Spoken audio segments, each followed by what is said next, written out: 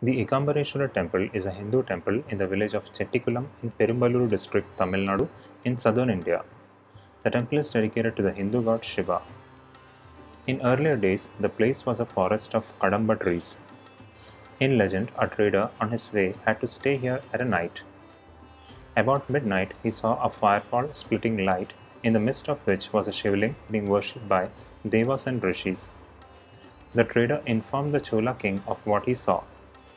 The Chola king rushed to the spot along with Kulashekara Pandyan, who was his guest then.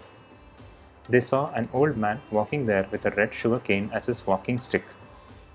He showed the king the place where the shivling was hiding and disappeared in the form of a fireball.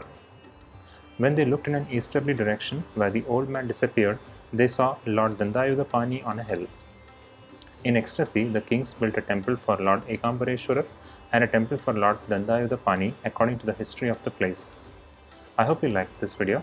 I'll be making a new video on another temple next time. Thank you.